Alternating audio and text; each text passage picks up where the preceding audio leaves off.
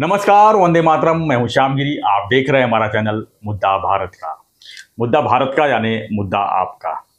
मुद्दा आपका इसलिए कह रहा हूँ कि आपके पास जो भी मुद्दे रहेंगे, हमें जो है कमेंट बॉक्स पे या व्हाट्सएप पे कीजिए।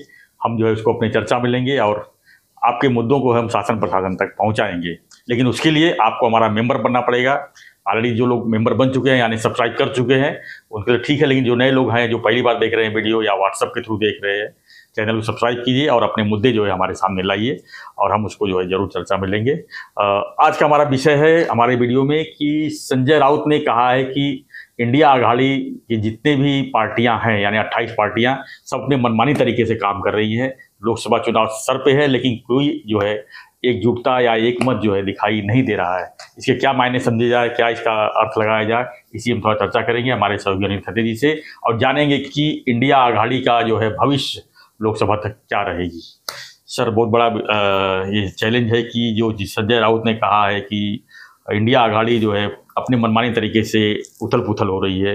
आप क्या मानते हैं? क्या ये इसको इंडिया आघाड़ी लोकसभा चुनाव तक टिकेगी लगता है आपको? सर कैसे है ना कि संजय ने संजय राउत जी।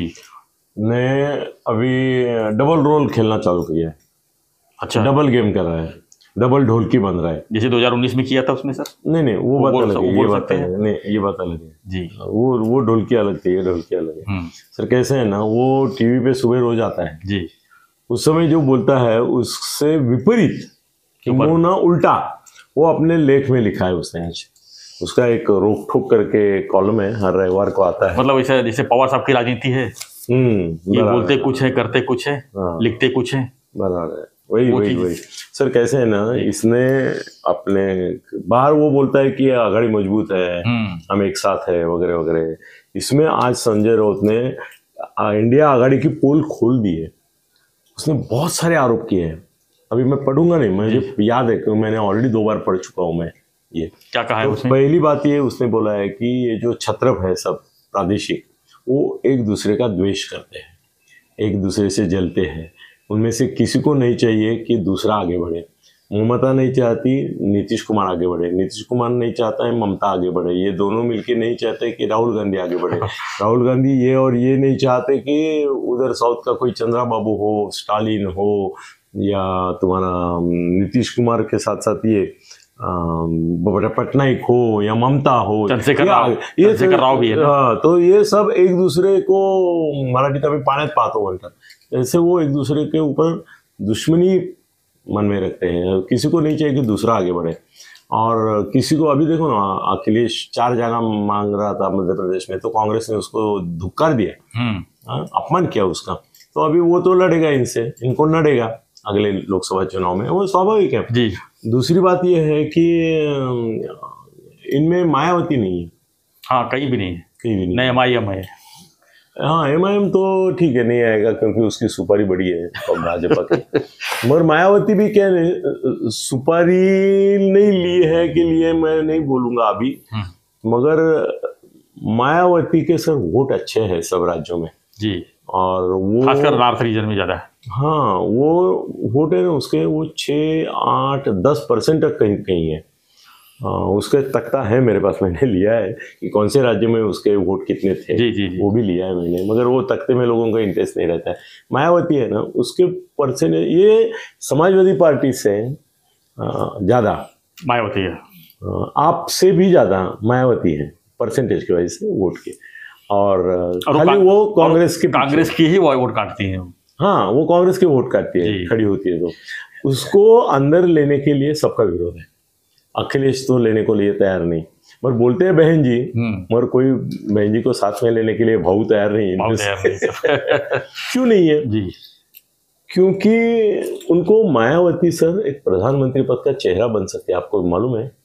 खड़गे दलित है। जी। करके उसको कांग्रेस बोल रही थी अभी उसके बारे में भी बीच में आ गया है। अभी दबे जबान चालू हो गई दबने की बात चालू हो गई है।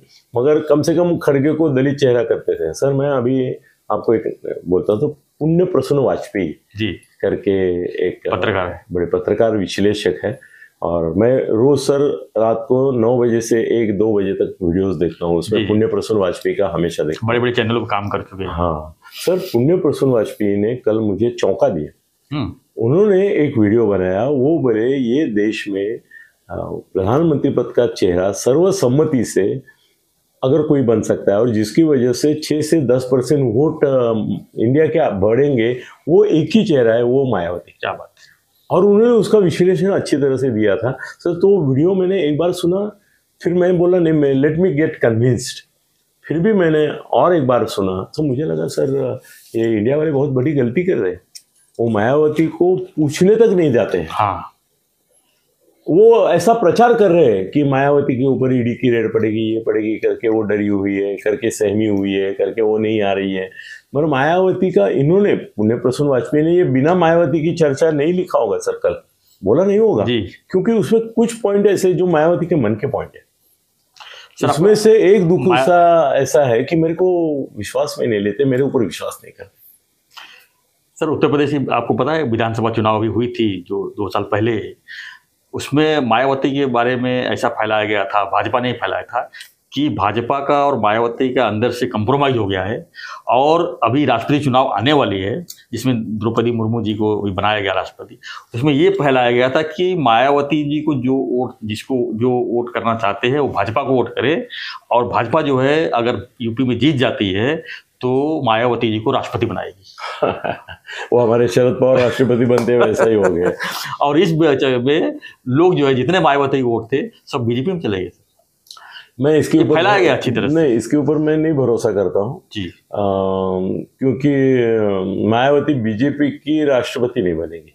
जी। सर उसका भी ना कैसे है ना दलित वोट जो है दलित और मुस्लिम वोट सर कल और भी एक वीडियो मैंने सत्य हिंदी डॉट कॉम करके हैं वो भी अच्छे वीडियो दिखाते वो सब मोदी खिलाफ है। जी। उन्होंने आंकड़ेवारी के साथ दिया था वो अभी मेरे पास। नहीं इसमें नहीं। सर, उसने दिखाया था कि दलित और मुस्लिम अगर एक साथ आ जाते हैं तो तीस परसेंट वोट बनेंगे। तीस टक्का वोट बनेंगे। ये तीस टक्का अगर इंडिया आघाड़ी को जाते हैं, दलित और मुस्लिम, एक गट्ठा तो बोले, मोदी का दूर दूर तक दो सौ के आगे बढ़ने का चांस नहीं है। बट नाम, जो नामुमकिन चीज़ है, वो चीज़ कैसे हो सकता है मुमकिन? सर उसमें उन्होंने जो बोला सत्य हिंदी डॉट कॉम में आपको है- आशुतोष का था हमारे ख्याल से। हाँ, रानी ना आपको लगता है सर मुस्लिम और दलित साथ में मिल सकते हैं? आपको लगता सर उसकी बात बाद में करूँगा मगर मुस्लिम वोट जो है है जी। वो इसके पहले मुस्लिम बहुल क्षेत्र में भी बीजेपी के लोग आए थे। अभी सर ये राम जन्मभूमि का और राम मंदिर का जो माहौल बनेगा उसमें हिंदू और मुस्लिम की शत्रुता और बढ़ेगी कम नहीं होगी। दूरी बढ़ेगी। तो मुझे ऐसा लगता है कि मुस्लिम वोट जो है हम्म। वो एक साथ एक होके कहाँ गिरेगा उनको प्रॉब्लम ये है।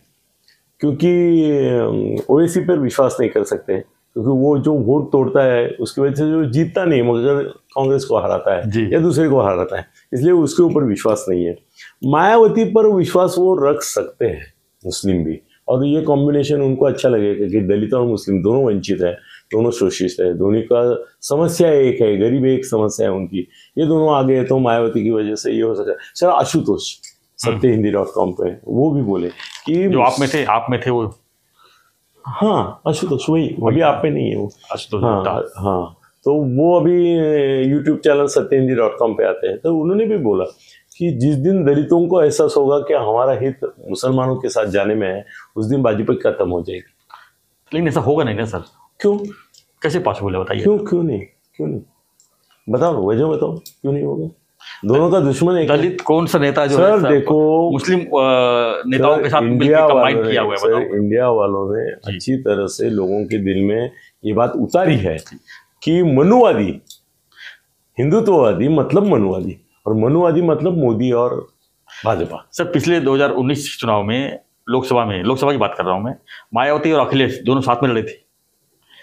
किसकी सीट बड़ी थी मालूम है? अखिलेश से कम हो गई मायावती की एक एक सीट से दस सीट हो गई। दो हज़ार चौदह में मायावती का बसपा जो बताया एक सीट एक हाँ। सीट था। पुण्य प्रसन्न ने वो हाँ, भी हाँ, बताया था। और उन्होंने अखिलेश से कंबाइन करके कांग्रेस साथ अखिलेश साथ कंबाइन करके चुनाव लड़ा 2019 का उसमें उन्होंने एक सीट से दस सीट हो गया। हम्म, और समाजवादी पार्टी का जो है सीट एकदम कम हो गया। हम्म। तो नुकसान किसको समाजवादी पार्टी मुस्लिमों की पार्टी है। जी। तो वही दोनों साथ में यादव। दोनों साथ में लड़े और यादव भी है। तो दोनों साथ में लड़े ना यानी मुस्लिम और यादव और दलित। साथ होने की कोशिश की गई ना हम्म, दलित और हम्म, हम्म। मुस्लिम वोट। हम्म। तो बढ़े ना मायावती हाँ मायावती बढ़े। लेकिन ठीक है मुस्लिम ना। मुस्लिम के नहीं बढ़े ना। ठीक है ना? मायावती के भी बढ़ेंगे तो इनके कम होंगे ना उतने। ये भी बात है ना? तो सर ये तो लो- लोकसभा कम हुई ना सर? हाँ ना। उत्तर प्रदेश में 2014 की अपेक्षा 2019 में भाजपा की सीट कम आई थी। वो तो पश्चिम बंगाल में बढ़ गया करके कम लेवल हो गया। लेवल हो गए जी। तीन सौ तीन तक जी, हाँ ठीक है सर। अभी अपने संजू बाबा के पास आते हैं। हाँ हाँ। हाँ संजू बाबा वो एक है संजय दत्त ये एक संजू बाबा। संजू बाबा। तो उसने सर साफ़ लिख दिया है कि ये लोग एक साथ नहीं है। तो जब और कोई त्याग करने को तैयार नहीं है। और ये जो एक साथ नहीं ऐसी बात कर रहे हैं। अब आप बोल रहे हैं मुस्लिम और दलित एक साथ नहीं नहीं सर मुस्लिम और दलित एक आना और इंडिया के घटक पक्ष एक आना अलग बात है। जी। इंडिया के घटक पक्ष जो है वो 28 है। उसमें ओवैसी नहीं है। उसमें मायावती नहीं है। जी। ये मैं बात अगर मान लो आ गए तो। नहीं आएँगे सर। तो वही बोला नहीं आ सकते ना सर। हम्म। नहीं तो इंडिया आघाड़ी का घाटा ही है। जी घाटा ही है सर हाँ। इसीलिए तो मोदी बिंदास है। जी। मगर संजय का ये कहना कि कोई त्याग करने को तैयार नहीं सगळे आपला सौता सुंभाळ सांभाळत सुभे प्रादेशिक सुभेदार बसले सर ये भी तो खुद कहते हैं हमको 22 सीट चाहिए महाराष्ट्र में ये भी कहाँ त्याग करने तैयार है? नहीं ना। फिर? उदो कहाँ करे? सर वही तो ये दूसरों के लिए कहने के लिए ऐसा पॉइंट पकड़ लिया सर मैं आपको दाद देता हूँ। कि संजय कहाँ है आपने हाँ। वो तो बोल के चल हाँ। गया कि तेईस सीटें हमें चाहिए चाहिए पर खुद तेरे तो पास कितने बचे हैं वो देख फिर भी तेईस की बात करते तो हैं आप तो आपने सही पकड़ा उसको। आप दूसरी पार्टी देख रहे हो और अपने अपने लिए क्या कर रहे हो वो नहीं तो सर मैं आप बड़े होशियार हो सर। ये जो है ना ये इसने इंडिया आघाड़ी की बैंड बजा दी है। मगर आपने उसकी बैंड बजा दी। तू दूसरों पर जो आरोप कर रहे हैं वो उद्धव ठाकरे को लागू होते हैं। हाँ होते ना। ये बताइए आपने बहुत बड़ी बात हुई। सर ये और शब्द सर बहुत बुरे यूज़ किए। उसने बोला 146 खासदारांची मुंडकी उडून। मतलब सर काट के ऐसा नहीं बोलना चाहिए। वो संजय राउत का तो उधर संजय राउत ये गया था हमारा शिंदे तो साहब लेके चालीस लोगों को तो ये बोला मैंने भैंसे भेजे हाँ। काटने के लिए। काटेंगे। ये क्या अभी मुंडकी अपने ही लोगों की मुंडी काटने की बात कर रहा है। संजय को नहीं ऐसा करना चाहिए तो क्या करेंगे? अभी धीरे धीरे मुझे लगता है कि लोग ना जैसे कंटाळ जाते हैं। अभी महाराष्ट्र में ना लोगों को जिन लोगों का कंटाल आया है जी। को शब्द कहते हैं बोर हो गए। बोर हो गए। जिससे उसमें एक है शरद पवार हाँ। दूसरा है संजय राउत तीसरा है उद्धव ठाकरे और चौथा है वो तुम्हारा ये सदावर्त। कंटाळ गए लोग। सदावर से तो चुप बैठ गया एकदम कहाँ आ रहे हैं सामने। हाँ वो राह देख रहा था कि क्या होता है क्या होता है। उसके। ही ही। ही- मेरे ख्याल से गाड़ी है। गाड़ी कोर्ट में टूटने- उसकी मिसेस ही लड़ रही है। गाड़ी टूटने के बाद तो एकदम शांति हो गई। हाँ गाड़ी टूटने से क्या होता है? इंश्योरेंस में ऐसे आठ गाड़ी उसके पास बता मर्सिडीज से लेके गाड़ी है कोई फ़र्क नहीं पड़ता। ऐसा लगा था कई बार तो। स्टंट करने के लोग अपनी गाड़ी तुरवाते हैं। नहीं ऐसा लगा कि गाड़ी टूटा है अभी वो एग्रेसिव हो जाएँगे कुछ भी करेंगे नहीं नहीं नहीं उसका उसका वो टाइमिंग से जाता है। जी। वो टाइमिंग से गाड़ी टूटने सर सर ज़िंदगी में कोई हार नहीं मानता है। कल आपका एक्सीडेंट हुआ था उसमें गाड़ी अरे आपको एक बड़ी न्यूज़ बचानी है आप साहब ज़िंदा सामने हैं यही बड़ा चमत्कार है। कल इनकी गाड़ी को एक्सीडेंट हुआ था गाड़ी पूरी 360 में बच गए बच गए बच घूम गई और पीछे गाड़ी नहीं थी करके बचे नहीं तो आज यहीं पे मैं श्रद्धांजलि देते हुए इतना बड़ा हादसा हो गया उनका। और उनके चेहरे पे कहाँ तुम्हारे चेहरे पे कहाँ शिकन है। आप बच के आए तो बच के आए बच जी वही जो, है। जो जीता उसी हाँ तो सदावर्ती कोई ऐसा एक गाड़ी जाने से नहीं उसके आठ गाड़ी है। और उसका एक टाइमिंग रहता है। सदावर्ते का। उसी समय वो बोलेगा। तभी बोलेगा। हम्म। वो बोलेगा पक्का। सर तो ये संजय राउत ने ही आज अपने इंडिया की बैंड बजाई है। तो इंडिया का अस्तित्व भवितव्य कुछ नहीं है। ये संजय की भविष्यवाणी है। तो उसको मानकर चलते हैं। इंडिया समाप्त हो गई है। अभी क्या बोलते हैं होलसेल मार्केट खत्म हो गया अभी रिटेल चालू रिटेल चालू धन्यवाद। धन्यवाद सर तो हमारी चर्चा पर आपकी क्या प्रतिक्रिया है हमें कमेंट बॉक्स में लिखिए और वीडियो को ज़्यादा ज़्यादा शेयर और लाइक कीजिए और बने रहिए हमारे साथ। हम जो है रोज़ जो है पॉलिटिक्स के अंदर की खबरें जो है आप तक पहुंचाते रहेंगे। लेकिन उसके लिए आप हमारे मेंबर बनिए। सत्य साहब का भी वीडियो है उसको भी सब्सक्राइब कीजिए। व्यू कीजिए। यस और बने रहिए देखते रहिए हमारा चैनल मुद्दा सर आप शेयर कहिए बोलते नहीं है। शेयर करने से भी बात बढ़ती है। शेयर भी करो। पता है सर सबको पता है? पता है। अच्छा तो बने रहिए देखते रहिए चैनल मुद्दा भारत का। धन्यवाद जय हिंद जय महाराष्ट्र। जय श्री राम। जय श्री राम।